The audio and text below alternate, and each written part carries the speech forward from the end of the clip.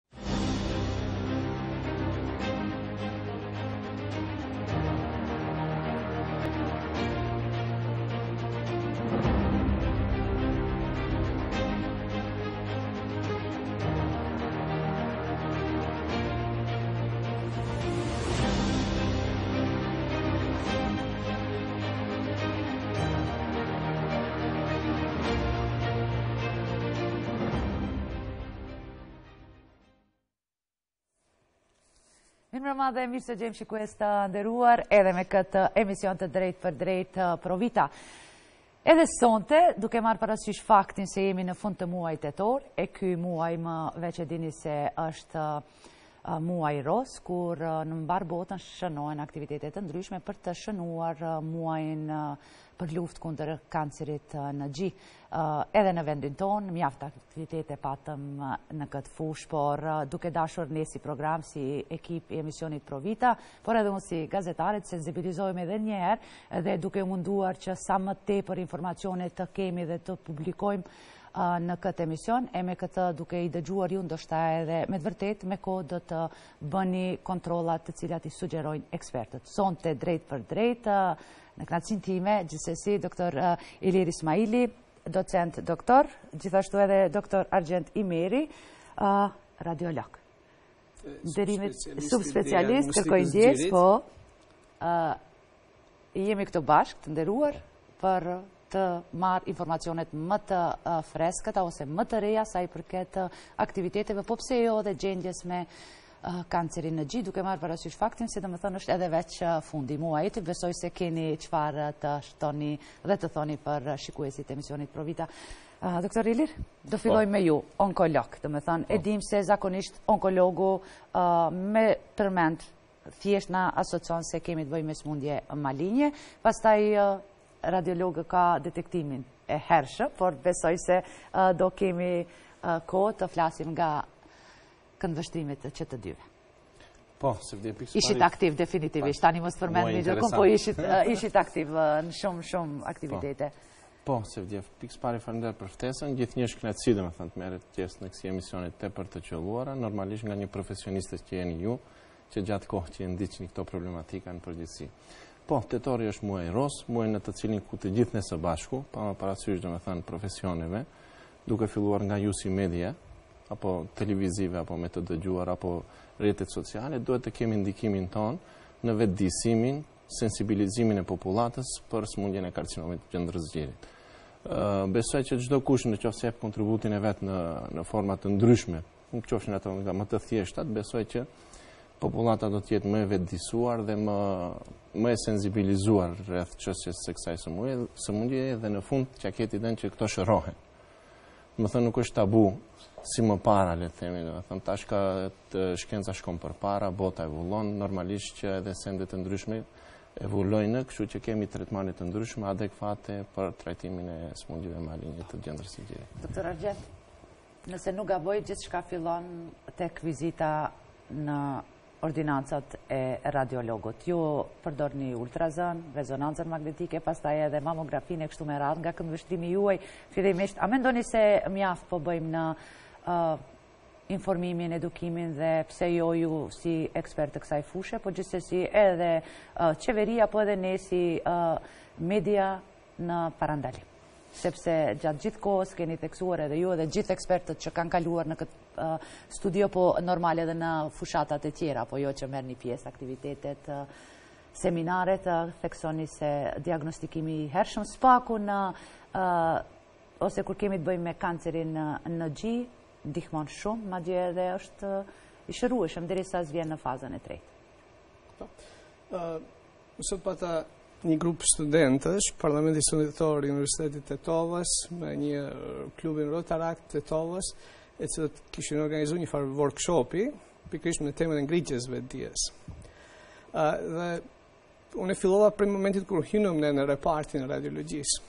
Në të në fillim duke parë, në fillim është aparati i CT-s, mandej fillon rezonanca magnetike, Dhe janë dy hapësira të ndryshme, ku në njërën është ekografia dhe tjetrën është mamografia. Pra kemi një alokim të resurseve gjysë për gjysë. Dy aparate dhe dy hapësira janë të dedikume veç për një organ, gjëndrën e qumështit, dhe dy hapësira të tjera, pra gjysma e resurseve janë të dedikume për krejt trupin, për krejt grupmoshat, për të gjitha gjinitë. Edhe pyetja ime ishte që ia parashtrova studentëve që ta kuptojnë rëndësinë dhe peshën e asaj, se pse është bërë një alokim i tillë i resurseve, thashë si ju duket, a u duket që një shpërndarje racionale e resurseve? Dhe kishte përgjigje të tipit jo, sepse për një organ, domethënë, gjysma e repartit është destinuar për një organ dhe gjysma tjetër ashtu. Ë, uh, shifrat Dhe kur fillova të flas me shifra, me për incidencën e kancerit të gjirit, e cila tregon se janë të dhana nga OBSH-ja për shembull për vitin 2020, 2021, se afër 2.3 milion gra në mbarë botën janë preku prej kancerit të gjirit. 680.000 kanë humbur betejën prej kancerit të gjirit. Ai vjen në çdo 19 sekonda një grue diagnostikohet prej kancerit të gjirit në botë. Çdo 60 sekonda, thotë një grue e humb betejën prej kancerit të gjirit në botë. OBSH-ja po e njëjta organizatë, domethënë, si metoda shumë efikase në, si të them, ne nuk mund ta parandalojmë, pasi janë disa faktorë të rrezikut të cilët ne nuk mund t'i modifikojmë, por në zbulimin e hershëm të, të kësaj sëmundje i konsideron shumë të rëndë, shumë të rëndësishme pikërisht domethënë ngritjen e vetëdijes së popullatës për këtë sëmundje dhe metodat e rregullta të kontrollit periodik që duhet t'i bëjnë pacientët asimptomatikë te mjeku, sidomos te mjeku radiolog, domethënë si metoda shumë efikase për ta zbulu sëmundjen në fazën të hershme. Pra këto shifra dekurajuese që i ndëgjum, a Pra kur dikush është diagnostiku me kancer të gjirit, këtu është dhe kolegu, ajo asesi nuk do të thotë se është dënim me vdekje. Po ne synojmë që kancerin e gjirit ta detektojmë në një fazë të hershme, pikërisht në atë fazë ku ai është plotësisht Jo, rastisht po themi gjatë gjithë kohës, dhe... kjo është edhe synimi i gjitha këtyre aktiviteteve që po i bëjmë që me kohë të shkojmë tek mjeku.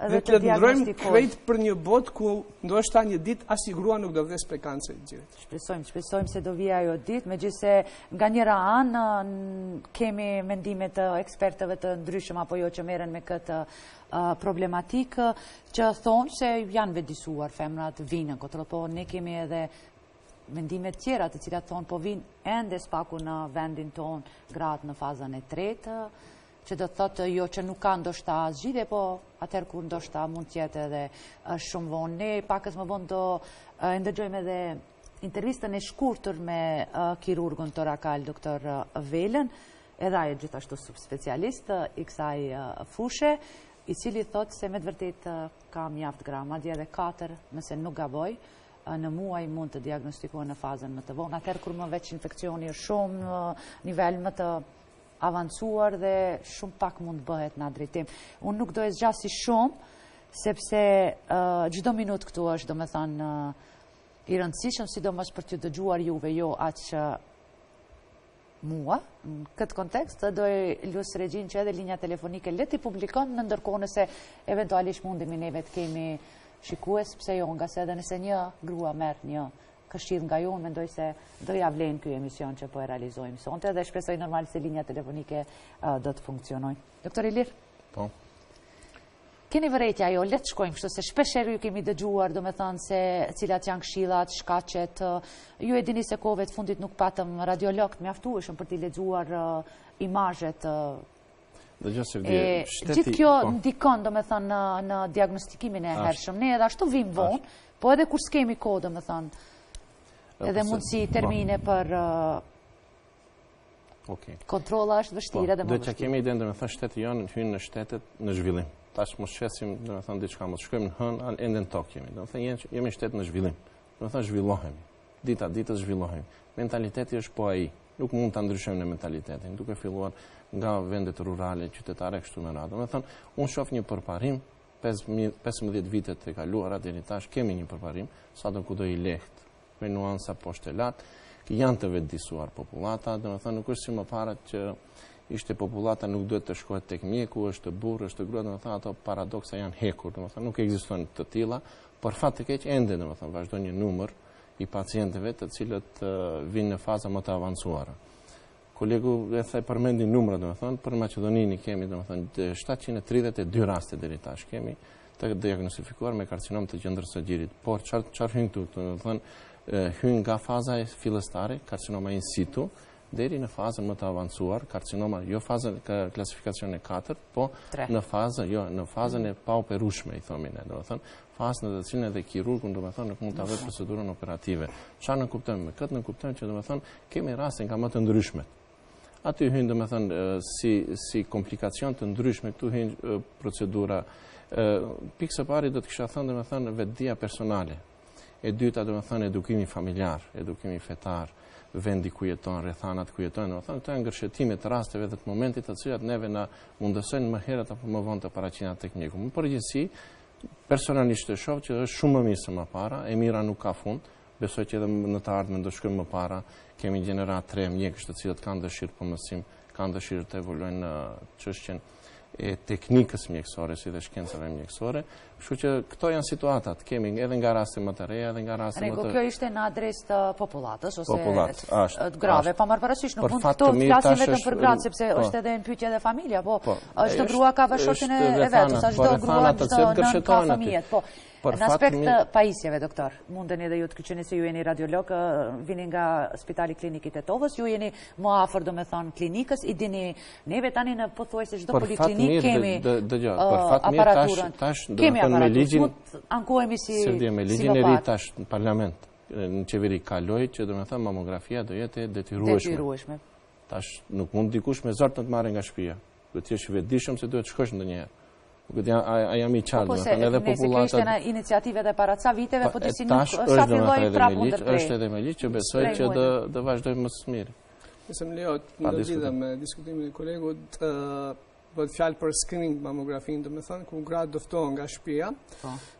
për të bërë gratë, ato gra që janë asimptomatike, domethënë, që qëllimi është të detektojmë sëmundjen në fazë të hershme, dhe kjo ka mungu 2-3 vitet e fundit gjatë kohës së pandemisë. Edhe më herët jo që ka funksionuar ashtu siç duhet, po ka qenë si variant, po them drejtën, edhe ndoshta në vite, e nuk kam qenë për të më ftuar, po. nuk më kanë ftuar, kështu që konkretisht po e them.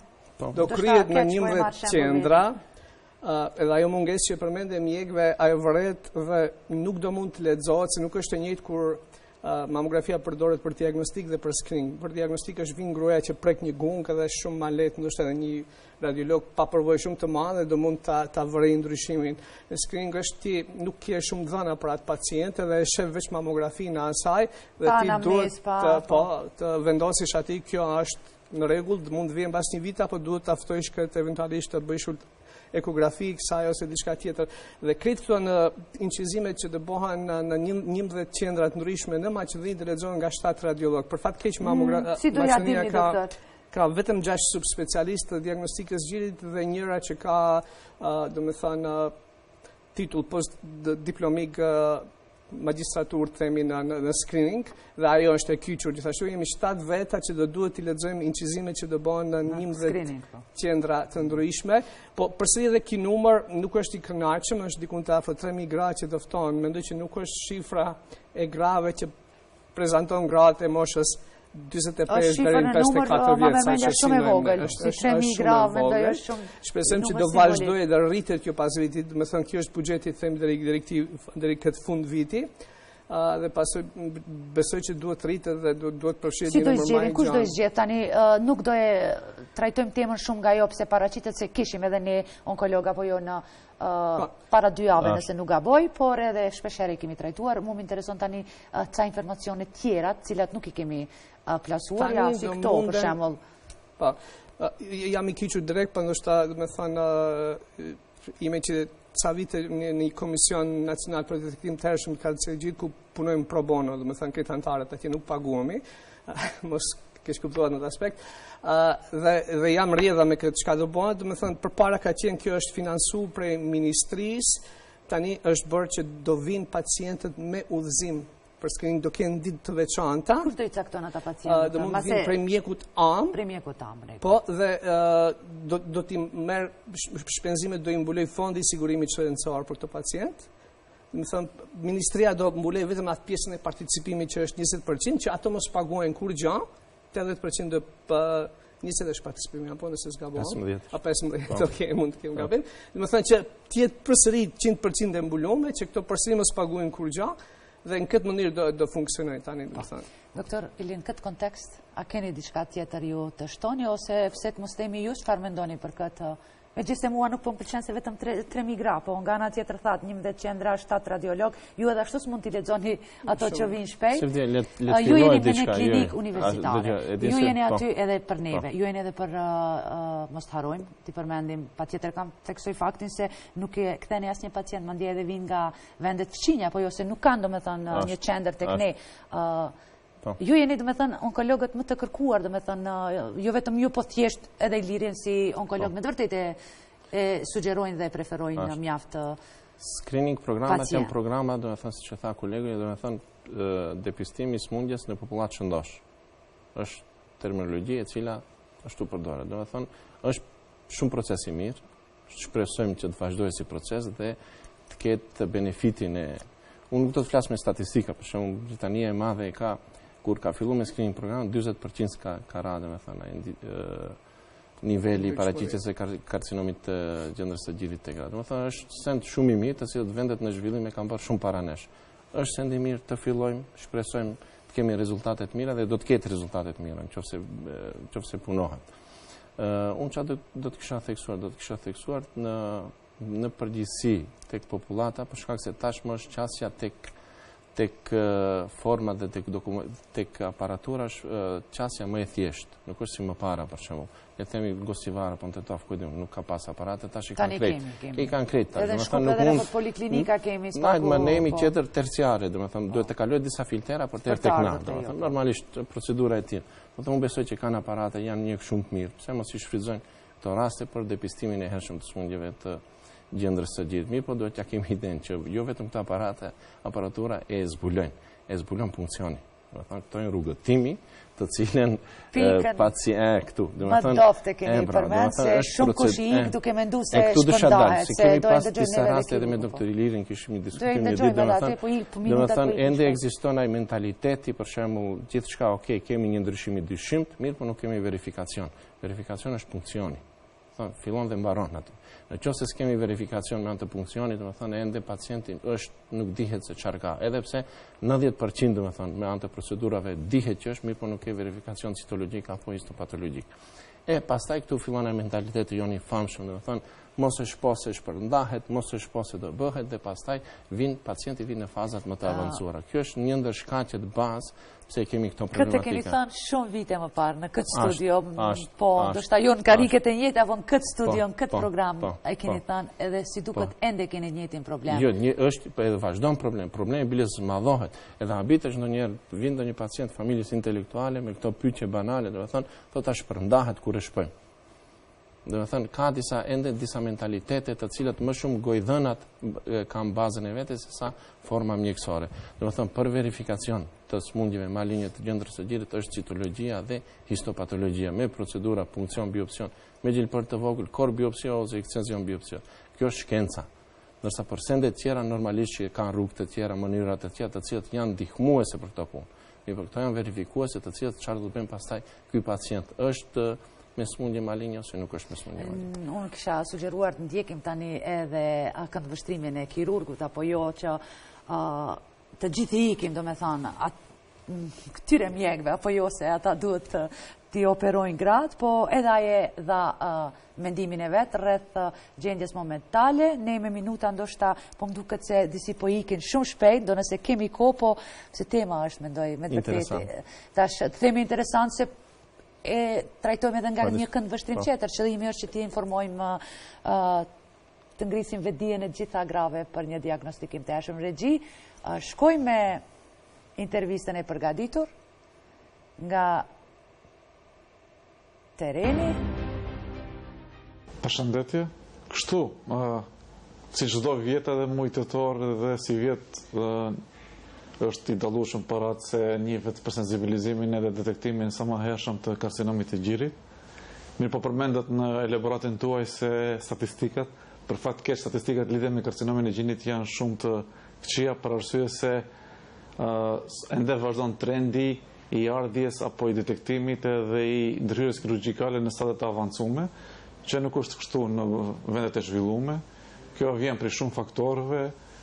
Unë do ta veçoja edhe periudhën e para do kohshme që ishte lidhje me periudhën e pandemisë këto dy vjet e gjys, ku sistemi shëndetësor për shkak të mbingarkesës u defokusu në skriningun edhe në zbulimin sa më të hershëm, mirëpo këtu ka faj edhe popullata në përgjithësi, për arsye se Një prej tipareve kryesore të karcinomit të gjinit është se është ndryshim që paraqitet në gji dhe nuk shkakton dhimbje. Për këtë arsye shumë vonë kërkojnë trajtim ose mjekim pacientët.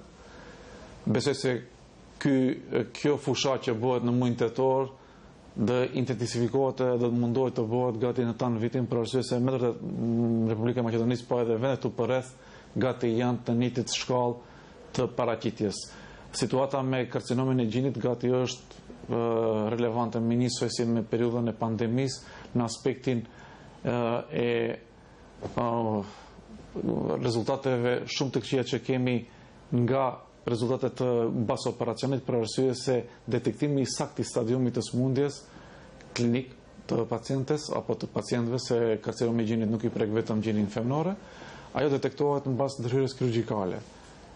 Për fat të keq, është një studim ka fundi i publikimit, ku detektohet se mbi 27% të pacientëve të cilët janë operu në klinikën tonë, i të i takojnë ose i përkasin grupës që është stadiumi më i avancum i karcinomit të gjirit, e është 3C stadium, ku mund të themi se pritshmëritë edhe e komplikacioneve edhe prognoza shumë të keqe që janë shumë të larta.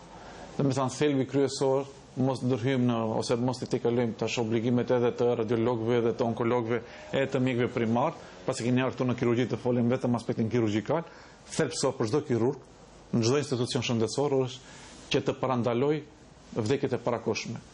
Kjo bëhet vetëm nëse eventualisht, domethënë, vijnë në kohë pacientët, edhe është hapi, domethënë, edhe dakordohen për operacion. Domethënë, shikoni shekulli 21 ne diskutojmë lidhje me dakordimin për operacion. Shpesh kina ala është habi te ne që vijnë këtu në ambulantë, edhe janë në mëdyshje pacientët ose mendohen lidhje me hapin e tretmanit kirurgjikal. Mendohen për arsye se mendojnë se intervenca kirurgjikale mund të përkeqësojë më shumë situatën, që është gabim. Nonsens po me kështu pacientët ne takohena gati në përditshmëri. Po, edhe ne derisa ju pritëm juve dëgjuam se shumë patët, domethënë telefonata rreth caktimeve për termine për ndërhyrje kirurgjike se ju nuk jeni vetëm për kancerin, domethënë ju jeni apo jo kirurg torakal, po megjithatë thamë se meqenëse duam edhe ne të sensibilizojmë apo jo me këtë muaj tetor, muajin rozë, jo rastisht erdhëm tek ju të marrim ca këshilla nga këndvështrimi i një kirurgu, thatë ju se ende diskutohet se duhet apo jo të operohen. Për fat të keq, për fat të keq. kemi gra dhe a kemi apo jo gra të cilat thjesht refuzojnë. Nuk refuzojnë. Po, nuk kanë çfarë të bëjnë. Po për fat të keq kemi situata ku refuzojnë. Pasojat janë fatale. Pasojat janë fatale dhe ato vijnë me një me një gjendje ku pa dëshirën e vetë pacientes, vetë familjarët e sjellin për operacion për arsye të komplikimeve të cilat fundi fundit për auditoriumin nuk janë të nevojshme të sqarohen në detale, mirëpo infeksioni i tillë i bën që pacientët të jenë jetesa në kushte të tilla është e pamundshme. Për këtë arsye Pacientët nuk shërohen prej sëmundjes, po shërohen nga komplikimet. Domethënë kjo është stadium shumë i keq. Në lidhje me atë se lidhje me ngarkesën që i kemi ne, po është e vërtetë, ne kena ngarkesë, operohen rreth 800 paciente me karcinom të gjirit brenda një viti në institucionin tonë ku punoj unë, në klinikën e kirurgjisë torakale. Mirëpo problemi nuk qëndron te ne. Mendoj në bazë të edukimeve që kena bërë në vende të ndryshme evropiane edhe botërore, Është konfirmuese, domethënë prej momentit të ardhjes në specialist kirurg deri te operimi edhe në vendet më të zhvillume kalon deri në tre katër javë. Këtu bëhet panika për arsye se këtu lihet mbas dorës gjendje shëndetësore me vite edhe mundohen që pacientët brenda 24 orë e 48 orëve ta zgjidhin këtë problem. Ky është gabim fatal, që edhe nuk është e arsyeshme, se natyra e sëmundjes nuk ndryshon brenda 2-3 javëve. Atë duhet të të edukohen pacientët se nëse domethënë Operimi operatori e cakton mbas dy-tre javëve nuk ndryshon natyra e sëmundjes. Problemi qëndron se është lënë mbas dorës edhe nuk është ose detektu, ose nuk është diagnostifiku me muaj edhe me vite. Aty qëndron problemi. Ditët edhe javët nuk janë problem në lidhje me operacionin. Pavarësisht fluksit të madh të pacientëve të cilët kemi çdo kirurg këtu në Klinikën e Kirurgjisë Torakale, mas shumti pritja është deri në dy deri në tre javë, çka është në suaza normale. Besoni se në vendet e zhvillimit, më të zhvilluara se ne dhjetë herë, pritjet janë edhe më të mëdha, dyfish më të mëdha se te ne. Unë jo se i larguam faj ashtu të themi fajësimin nga ana e situatës tonë lidhje me gjendjen e përgjithshme, këtu ka secili mjek faj, tu nis prej te mjeku amë deri te njësitë terciale ku jena ne në qendrën klinike të Shkupit, mirë po Për fat keq, unë nuk shoh përmirësim, ajo është më e keqja, e gjithë kësaj periudhës. Ë numri të pacientëve të që vuajnë nga kjo sëmundje vetëm shtohet. Ë zbulohen, detektohen në stad të avancuar. Edhe shpeshherë na ndodhen që edhe pacientët të cilët vinë në ambulant që kërkojnë ndihmë kirurgjikale në këtë situatë janë jo të përshtatshme për operacion të shkurt të Të shpjegojmë me fjalë të thjeshta, për arsye se është stadiumi shumë i avancuar. Një herë fillon me kemoterapi, respektivisht terapi onkologjike, që të zvogëlohet vet kanceri apo tumori, edhe pastaj të nënshtrohet operacionit. Domethënë ne jemi në një situatë jo të lavdishme dhe më vërtet jemi në gjendje jo të lavdishme pasi në kontinentin e Evropës edhe kështu situata hasim është shumë problem. Në vendet e zhvillume nëse kemi involvim të të gjëndrave limfatike përreth gjirit, atëherë shpeshherë shkon ndryshe tretmani i këtyre pacientëve. Kështu që problemi shumë është serioze, shumë është serioze dhe të them se të njëtën e thashë edhe paraprakisht, domethanë se gjendje serioze është njësoj edhe me smundet tjera malinje, mirë po karcinomi i gjirit është arsye kryesore e vdekshmërisë te gratë nga sëmundjet malinje, domethënë përqindja më e madhe e popullsisë gjinisë femnore e prekën kjo sëmundje dhe për këtë arsye duhet skriningu, duhet kontroll patjetër, patjetër, që të mos vjen deri te kjo masa apo jo kanceri i gjinit. Për arsye se ma i lum, ma i lumtur është një paciente apo një mjek është shumë ma i gëzum nëse vetëm ndërhyrja kirurgjikale e shëron pacientin. Ka kështu raste kur ato janë në fazat e hershme. Atëherë gjithë jena të kënaqshëm për arsye se operacioni është trajtim për atë. Domethënë, uh, kemi edhe ashtu raste, nuk themi se krejt është zi te ne, domethënë, foli te ne në përgjithsi në këtë shtet, mirëpo janë shumë të pakta ato rastet, që vinë në stadium të fillimit të vetë smundes të karcinomit. Në ato raste nuk do ketë nevojë shpeshherë edhe terapi onkologjike, mbaron trajtimi kirurgikal, Edhe te pacientet vetëm përkujdesen apo kontrollohen vazhdimisht në mënyrë sistemike. Edhe një një një informacion çka pas operimit, heqjes së gjinjve, apo njërit gji. Mirë, kështu, ok, ah. ju e thatë në mënyrë pak kështu ma radikale, është e vërtetë se një nga opcionet, qendra klinike Këtu në Shkup, Klinika e Kirurgjisë Torakale, të gjithë mjekët janë të pregatitur t'i bëjnë të gjitha llojet e intervencave kirurgjikale që ka të bëjnë me patologjinë e gjirit, domethënë gjitha llojet. Se ju përmendët atë çka pastaj, domethënë është e vërtetë se ne domethënë si rast më shpesh bëjmë këtë çka e thatë ju, largimin e komplet gjinit, mirëpo ka edhe operacione të cilat janë më kozmetike apo estetike, ku largohet vetëm një pjesë, një përqindje e vogël e gjinit. Mirëpo për këto, për t'u realizu, duhet që pacientët të vinë në qendrën tonë klinike në fillim të smundjes.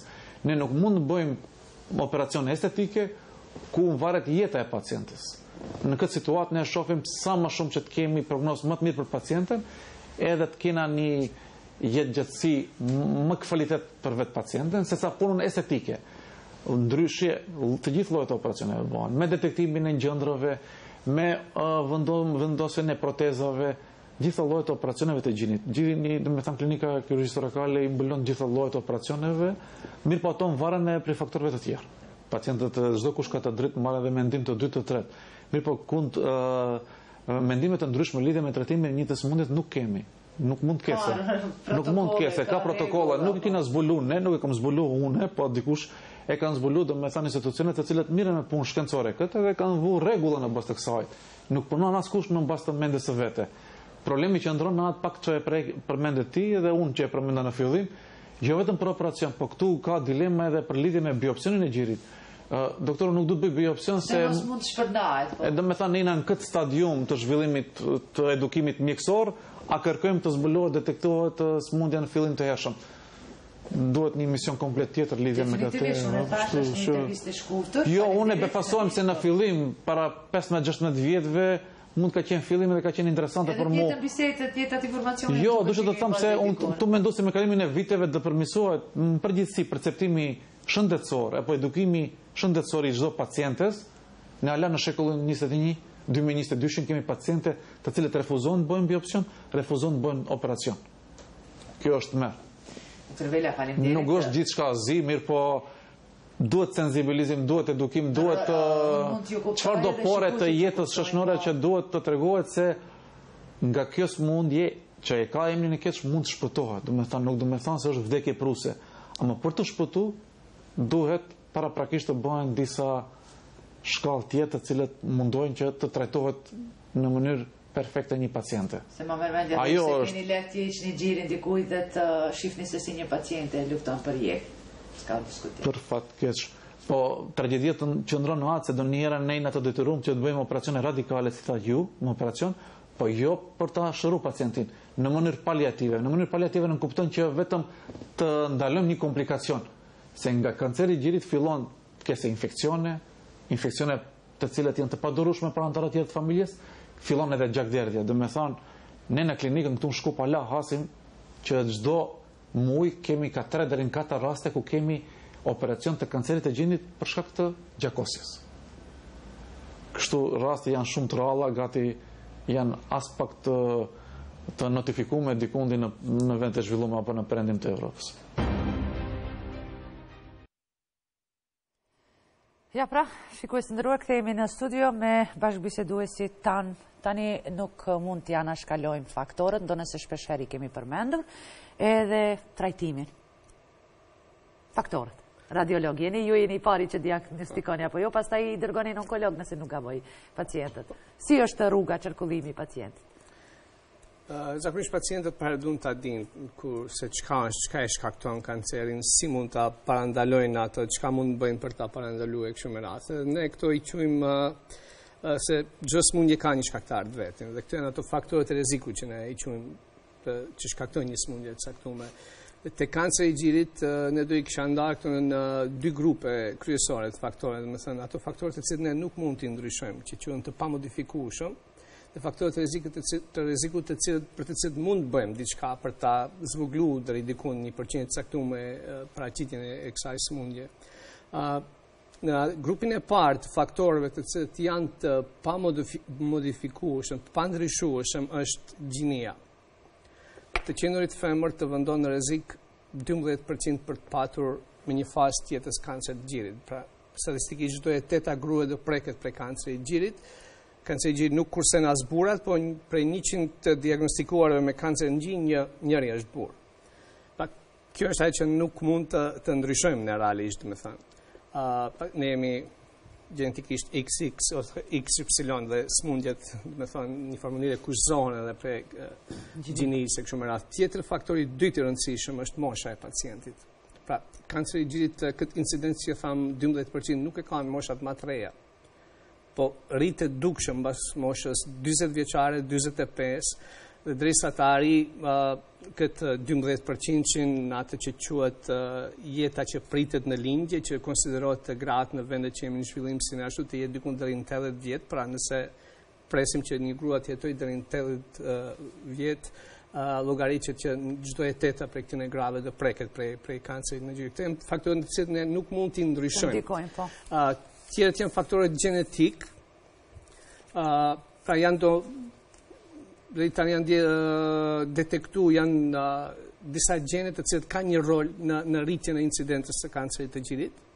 dhe njihen si uh, gjenet braka 1 dhe 2, brëca 1 ose 2, amerikanët kanë qejf kështu t'i, uh, shqiptojnë braka 1, 2, uh, çka është roli i këtyre gjeneve, domethanë këto janë do disa gjene të cilët pra, prasi për të ndodhë kanceri, për t'u paraqit, gjithmonë në organizmin tonë kemi një, uh, një qelizë ndryshon, domethanë, prej asaj formës normale në atë abnormale, pra ndodh diçka në atë ADN-në e asaj qelize. Këto gjenet e kanë rolin e, uh, tumor suppressor genes, gjene që suprimojnë tumorin, realisht e riparojnë atë ADN-në e asaj qelizës që ka malignizu, që ka ndryshu, dhe me këtë pengojnë, domethënë, përhapjen e sëmundjes. Te këto pacientët që kanë mutacion të këtyre gjeneve, ky gjen, ta quajmë ky lloj mjeshtri, nuk e kryen punën si duhet, nuk e riparon ADN-ën, dhe te këto kemi një, një, një, një rritje të dukshme të incidencës të kancerit të gjirit, deri në 80% ma shumë domethënë sesa popullata tjetër femrore. Po në përgjithësi sado kudo, domethënë,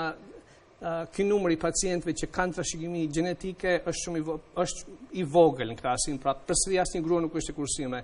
Thuhet se prej 100 grave të diagnostikume me kancer gjiri vetëm 10 kanë trashëgimi besoj që do të pajtohet dhe kolegu. 5, 10% po. Varet studimet, unë kam hasur edhe prej 5, thot, prej 10, prej 15, që aty diku sillen domethënë pjesa tjetër dhe në 85% nuk kanë trashëgimi familjare. Janë edhe faktorët reproduktivë, domethënë pra, sa lindje ka pas prej kur ka fillu gjithonja, se në sektori kësha futën në kategorinë të cilët ne mund t'i modifikojmë, pra stili i jetës, mbipesha rrit rrezikun për për kancer të gjirit. Gratë që janë jo aktive fizikisht kanë një incidencë më të lartë të kancerit të gjirit. Shprehit e ndryshme, thënë pirja e alkoholit, duhanit, po. rrit rrezikun për kancer të gjirit. Gratë që kanë marrë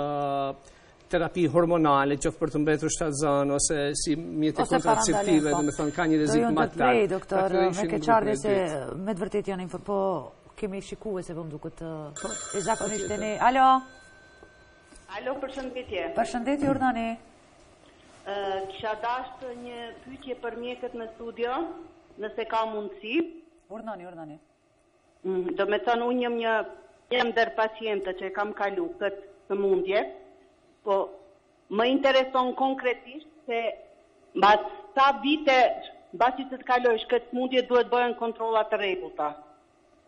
Domethënë për trajtimin e sëmundjes së karcinomit të gjëndrës së gjirit është ekziston protokoll i veçantë i pas trajtimit, domethënë, kontrollat të cilat duhet bëhen, në bazë të protokolleve, domethënë, dy vitet e para, çdo 4 muaj, bëhet kontrolli i pacientit, çdo 4 muaj, të tre kontrollat e para në 4 muaj, bëhet me eho të gjëndrës së gjirit, dhe varësisht karcinomi është hormon pozitiv, ose jo, në qoftë se është hormon pozitiv, atëherë së bashku me kontroll gjinekologjik gjegjësisht e endometriumit, për shkak se tretmani i cili përdoret, është tretmani i cili ndikon në qafën e mitrës dhe prandaj na duhet kontroll gjinekologjik. Domethënë, çdo 6 muaj bëhen tumor markerë, tumor markerë specifikë, të cilët janë për tumor markeri i përgjithshëm dhe i gjëndrës së gjirit, pastaj çdo një herë në dy vite bëhet mamografia, domethënë dy vitet e para, pastaj kontrollat bëhen në çdo 6 muaj dhe deri në 5 vitet e para, pas 5 viteve bëhet në çdo 8 muaj. Mirëpo në përgjithësi pacienti i cili ka karcinom të gjëndrës së gjirit ka bërë trajtim, ai domethënë për tërë jetën është pacienti pacienti i cili duhet vijë në kontroll minimum një herë në vit pas vitit të pestë.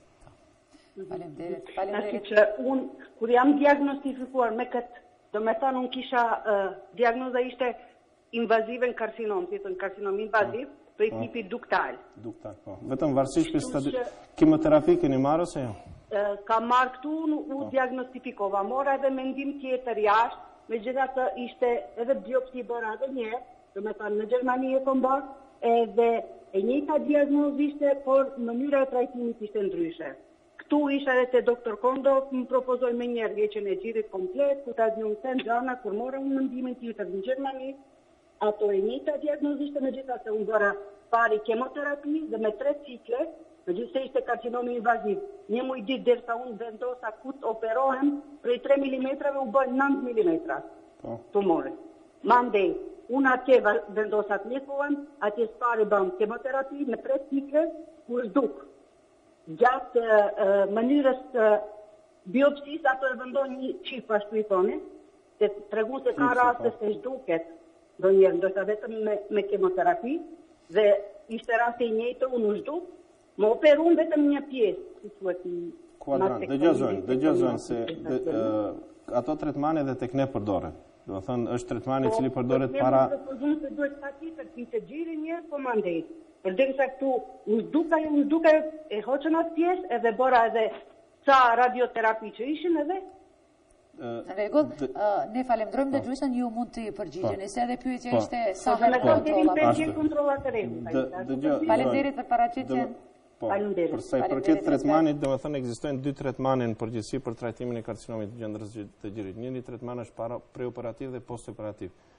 Gjithnjë flasim për kimioterapi.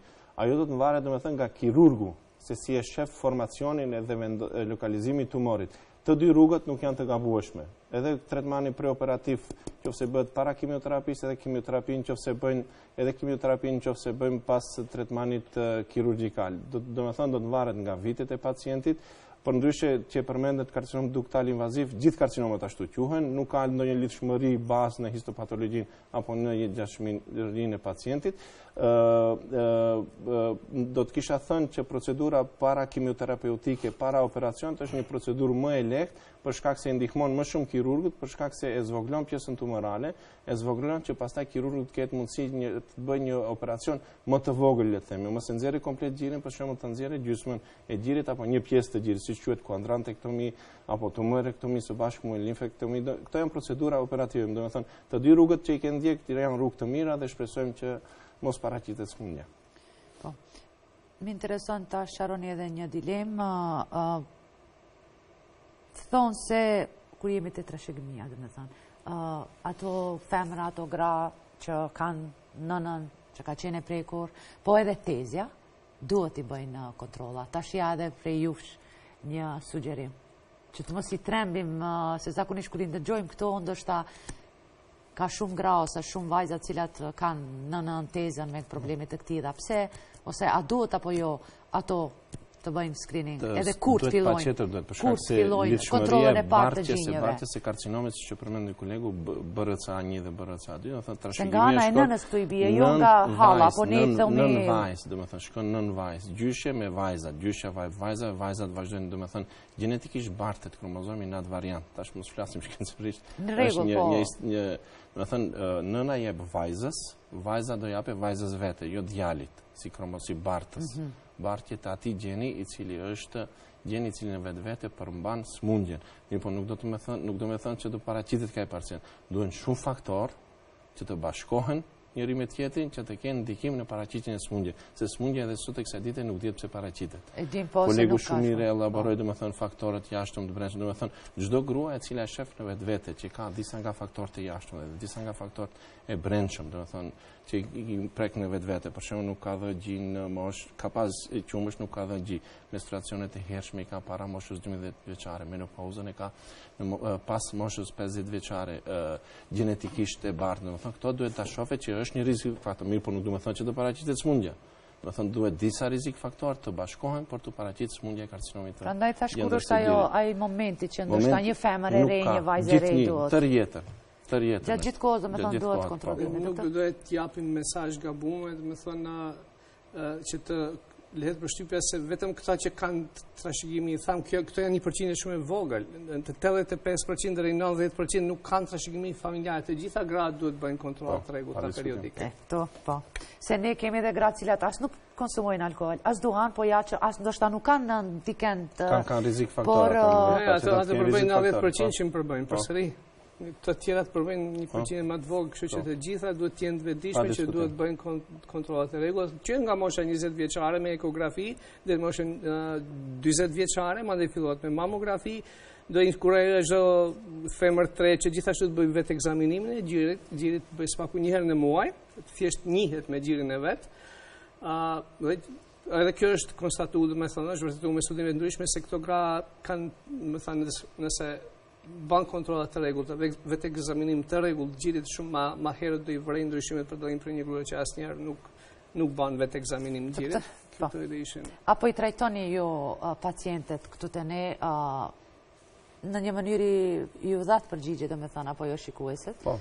Po A mendoni se i trajtoni me të vërtetë sipas gjitha protokolleve që janë më bashkohore edhe këtu tek ne? Se ju jeni aty drejt për drejt. Pyetjes që e thatë do ta them në fund të domethënë të diskutimit diçka interesante. Po marrë po, po. parasysh domethënë trajtimi i karcinomit të gjëndrës së gjirit trajtohet. Kur themi trajtim domethënë kemi mjekim. Mjekim të mirëfilltë si smundjet tjera le të themi. është më specifik, është, është rrugëtimi për trajtim është më i komplikuar, më i gjatë, mirëpo në bashkëpunim me mjekun kemi suksese shumë të mira. Për sa i përket trajtimit të karcinomit të gjëndrës së gjirit, ai trajtohet në disa faza, disa forma, janë shumë në numër, por do do fokusohem në disa më të thjeshta që të jetë më të akseptueshme nga nga teleshikuesi. Domethënë, siç thamë, kemi stadiume të hershme dhe të avancuara. Nga stadiumi 2 e sipër duhet pacienti të marrë kimioterapi. Para se kimioterapisë, normalisht në konsultim me kirurgun, mund të kemi qasje kirurgikale ose jo, domethënë trajtim kirurgikale ose jo të gjëndrës së gjirit, i cili mund të jetë në disa faza, nuk i përmendim ato, mund për shembull vetëm tumorektomi, kvadrant resi, apo komplet gjirin. Pastaj vjen pacienti tek ne. Në bazë të histopatologjisë,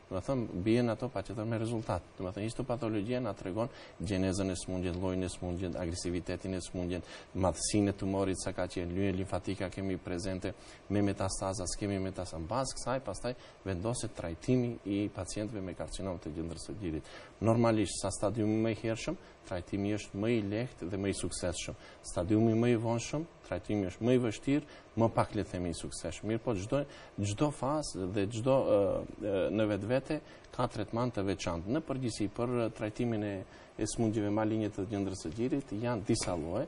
Pikësëpari fillohet me kimioterapi. Janë të, këtu përbëjnë citostatik, Janë preparate citostatik, të cilët jepen nëpërmjet intravenos, mund të jenë apo me anë të tabletave. Gjithashtu kemi tash jemi në bashkëpunim shumë mirë me kirurgjinë torakale dhe spitalin 8 shtatori, domethënë me anë të porteve, për shkak se kimioterapia në vetvete, kur jepet me anë intravenos, i dëmton venat i dëmton. Dhe domethënë pacienti, jetëgjatshmërinë e tij e ka shumë të gjatë, mirëpo kur i ka venat e dëmtuara, ka diskomfort gjatë jetës së tij, për shembull në të ardhmen kur duhet marrë ndonjë tretman intravenoz. Tash kemi fillu me porte, domethënë është një hapësirë diku në kraharor ku direkt në venë jepet tretmani i duhur. Është shumë procedurë e lehtë dhe efikase. Tretmani siç thamë bëhet me kimioterapi, me citostatik, bëhet mund të bëhet me një preparat citostatik, me kombinime të disa preparateve citostatik, të cilat në vetvete bëjnë të ashtuquajturën vrasjen e qelizave malinje në organizëm. Pasi që kemi, siç thamë domethënë, histopatologjinë, pas histopatologjisë, pastaj pacientit do të shikohet ndjeshmëria hormonale e pacientit, e tumorit.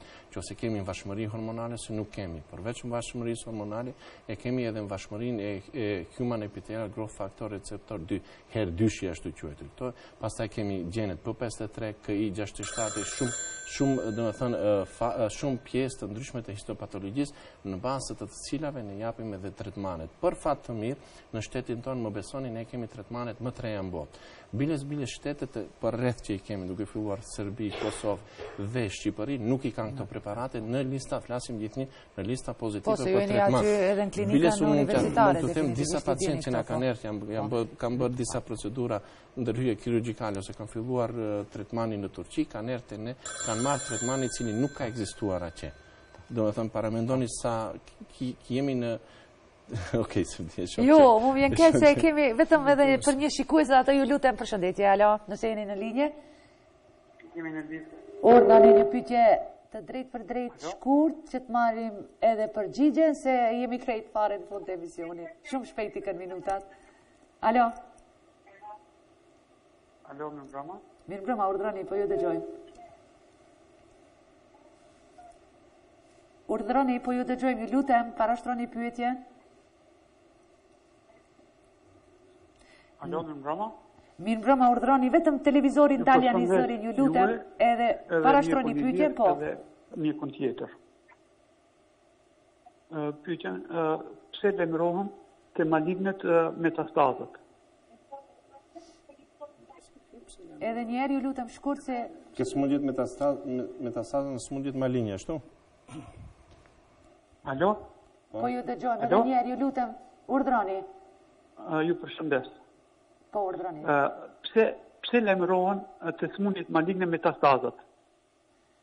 Rregull, shkurt doktor edhe pse ne po flasim zotri për kancerin e gjirit, jemi fare në fund të emisionit, shumë shkurt doktor, edhe ta rrumbullaksim nga një minut po. Ju falemderit që paraqitet. Ok, metastazat janë qeliza të cilat e kanë zanafillën nga një organ i veçantë për rastin konkret flasim për gjëndrën e gjirit, mirëpo ato kanë afinitet që të shpërndahen në pjesë të ndryshme të organizmit me rrugë të ndryshme duke filluar me rrugë cilin organ e ka ma afër, rrugë tjetër është janë me anë të gjakut e kështu me radhë. Janë domethënë e njëjta qelizë, mirëpo ndodhet në vend të ndryshëm në organizëm, më thjesht thënë. Unë desha vetëm edhe diçka të përmend që para, domethënë. Po. Çfarë është interesant përveç trajtimit që thamë me kimioterapi, hormonoterapi, target terapi, terapi gjenetike është dhe trajtimi shumë efikas me anë të radioterapisë. Domethënë është një shkencë në veti të cilën ne kemi për fat mirë Në shtetin tonë, e këtu desha të dal, domethënë, për fat mirë në shtetin tonë kemi katër aparate, të cilat janë perfekt, aparatet më të reja, softverin më të ri e kanë, domethënë, çfarë desha të them, domethënë, po, gjatë... Po, po mbërrijnë krejt pacientët deri te aparatet? Po, po, krejt mbërrijnë, krejt nuk është problem për atë, vetëm duhet të kesh, domethënë, e din si shkon puna, duhet për, tar, për të marrë diçka, duhet të kesh indikacion për diçka, domethënë, duhet të kesh stadiumin, smundjen, për t'u bërë rrezatimi, nuk mund të të të fusim ke karcinom direkt rrezatim, nuk shkon ajo procedurë, ka protokoll të veçantë, domethënë, gjithçka, më besoni që në klinikën tonë, gjithçka bëhet me protokolle të veçanta në bazë të agencionit atomik të Vjenës, ne nuk i shpikim ne ato. Po se ne tani e kemi edhe PET skenin, edhe jo, PET skenin, po, ashtu. Po, po. E çfarë desha them, domethënë, gjatë, gjatë, gjatë edukimit tim profesional, unë një pjesë e kam mbaruar në Tokio, s'ka lidhje, më besoni i njëjti aparat është, Në Tokio rrezatohen japonezët me aparatin të cilin ne kemi në klinikën në Shkup. Edhe të vjen pacienti, vjen prej kudo në qytet, thotë jo se mua do më djegë ky aparat. Jo thonë se bëj këtë punë. Më besoni që shumë raste kemi të tilla. A ky aparat se më kanë thënë që i djeg lëkurën. Edhe edhe ndonjë krem që e vendos në fytyrë do kesh një reaksion jo, në fytyrë. Jo, edhe ja thon gratë se vën eh, deri sa shtypin eh, apo jo gjinin. Ose po ja çi po duhet të bëj edhe. Po e din për shembull mamografi po. jo thotë se do ma plasë gjëndrën e gjirit. Domethënë hipoteza banale të cilat U kushton jetë u kushton domethënë pacientit i kushton për shkak se plani domethënë trajtimi nuk është i plotë plotshëm posaçërisht për gjirin nëse nuk bëhet dhe rrezatimi. Domethënë nëse ti bën kimioterapi, target terapi, edhe terapi gjenetike nëse ke. Në qoftë se nuk e bën rrezatimin asgjë s'ke bërë. Rrezatimi është faza e fundit në të cilën në vendin ku është ku ka qenë për shembull karcinomi i gjëndrës së gjirit, mendohet dhe planifikohet që ajo pjesë të rrezatohet që të kemi efektshmëri dhe jetëgjatësi më të gjatë të pacientit. Mirëpo për fat keq ende ekzistojnë këto. Këto gjëra. Këto gjëra, po. Doktor? Jo, do kisha thënë që... Unë do se këtë ka fëtëri sa së të të regjia... Faza metastatike e smundjes është faza e pashërueshme e smundjes, ne krejt çka tentojmë të bëjmë është zgjasim jetën e pacientit, një jetë që nuk është me kualitetin e duhur, domethonë, po për të ndodhë krejt kjo, kjo ndodh si pasojë e asaj se i kemi dhonë kohë të mjaftueshme kancerit të veprojë dhe të shpërndahet në organet më të largëta. Dhe kjo zakonisht ndodh kur ne thonë që një grua kur e prek një ndryshim, një grua që nuk bën kontrolla të rregullta, që e prek vetë një ndryshim, është kur së paku kanë kalu 2 deri në 3 vjet. T'i lash ka 2 deri në 3 vite një vrasësi serik, sikur që është kanceri i gjinit, do të thonë nuk është puna më e mençme që mund të bësh në jetë. Ndodh pra Përgjigja është metastazat ndodhin se ju vini, nuk vini të bëni kontrola të rregullta periodike, vini me vonesë dhe smundja përparon, përhapet, jo vetëm lokal, por po përhapet edhe në pjesët më të largta të trupit tonë, dhe ajo, domethonë, rrëzon kualitetin e jetës, tretmani këtyne pacientëve është shumë ma i shtrenjtë, humbim vite të jetës, Pra, për të parandalu këtë, janë gjithë këto aktivitete që ne i bëjmë në muajin tetor që gratë duhet të vinë në kundë, ne duhet të vjedhim kohë prej tumorit, mos i japim kohë atij. Pra së paku çdo grua duhet njëherë në vit të paraqitet, të bëjë një kontrol të rregullt, dhe atëherë nuk do ketë tumori kohë të mjaftushme për të ardhë në fazën kur ka metastazue. Shumë shkurt, krejt për fund, shumë shkurt, vetëm edhe një çështje nga këndvështrimi im, ku është te mjeku familjar? Sistemi shëndetësor s'e di, domethënë, është ai që është. Domethënë, asnjëherë nuk, perfekt nuk ka. Edhe në perëndim, mos mendoni se e kanë... Them, a, dëgjo, dëgjo, duhet mjeku familjar, së paku t'i thotë një grua jo një... një... Vetë gruaja duhet të paraqitet okay. tek mjeku. Nuk ka nevojë mjek familjar, mjek sekundar ose terciar. Domethënë, qoftë se ke një problem, duhet të shkosh tek mjeku adekvat. Patjetër kontroll, pa kontrolla nuk ka asgjë. Domethënë, duhet depistimi i hershëm, kontrollat e mirëfillta, serioze. Biles, doktori thotë njëherë në vit, unë kisha thënë njëherë në gjashtë muaj. Çdo femër e ka obligim ndaj familjes, ndaj prindërve, ndaj fmijtëve të saj, njëherë në gjashtë muaj t'i bëjë kontrollat. Të paktën për karcinomë për gjëndrën e gjirit. Doktor, shumë shkurt, mesazh, ju e thatë në një po, mënyrë. E thatë, e thatë, e shumë, e thatë shumë qartë. Doktor i ka këto protokollet, si dhe lëk, ne i përmbahemi, ne kemi institucion referent American College of Radiology dhe rekomandimet e atyne janë kjo, për shembull të bëhen njëherë në vit, po sidomos për metodat të cilat nuk kanë rrezatim jonizues, si ekografia, është pa problem domethonë mund bëhen çdo gjashtë muaj. Po. Në të lidhem në një pyetje që bëni ma herët e deri kur duhet për shembull atë qasjen e radiologu, domethënë, gruja të bëjë kontroll pasi ka patur kancer. Kështu ne jemi pak ma të vrazhdë. Thuhet, nëse pritshmëria e jetës së saj është më shumë se 10 vite, duhet të vazhdojë të bëjë. Nëse gruja ka 100 vjet dhe nuk pritet se do jetojë 110, ndoshta mund të ndërpresë lirisht të bëjë, ndoshta kontrolla të rregullta. Një gruja që po. ka pas, po, domethënë nëse është më shumë 50, 60, dhe ajo pritet që të jetojë edhe 10 vite tjera, ajo duhet të bëjë kontrollat që ta diagnostikojë po. gjithë recidiv, domethënë të sëmundjes në fazë të hershme, së vishë. Doktor? Se jeni në qendër universitare, vijnë po. nga spitali klinik Tetovës, vijnë nga Gostivari, Struga, Dibra, po. vijnë nga krejt, për fund.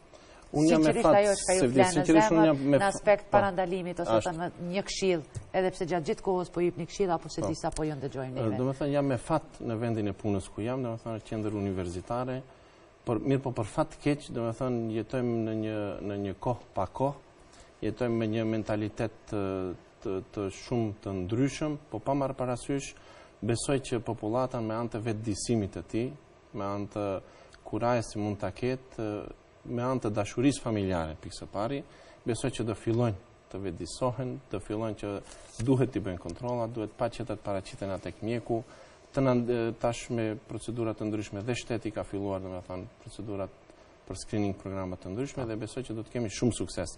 Do shihemi vitin e ardhshëm. Gjithsesi, gjithsesi, ne jemi këtu, pa diskutim, po, po. tetorin e ardhshëm, besoj që do të jemi në një shkallë më të lartë të vetëdijesimit të popullatës. Tetori është shumë larg, po besoj që do bashkëpunoni me ne çdoherë kur kemi nevojë për ju. Shumë faleminderit, ishte ditë feste, po me gjithatë ju na nderuat, erdhët këtu për të qenë këtu për ne dhe shikuesit. Të faleminderit, të faleminderit. Gjithsesi, Shikues të nderuar, falënderime shkojnë edhe në adresë të juve. Ne shifemi të hënën e ardhshme, apo të dytën të hënë, por uh, do të shifemi nëse gjithçka shkon rregull me temat që kanë të bëjnë me takimin profesional të radhës të shoqatës të mjekëve shqiptarë të Maqedonisë. Deri atëherë mirëmbetshi dhe uroj që t'i zbatoni këto rekomandime të uh, mjekëve.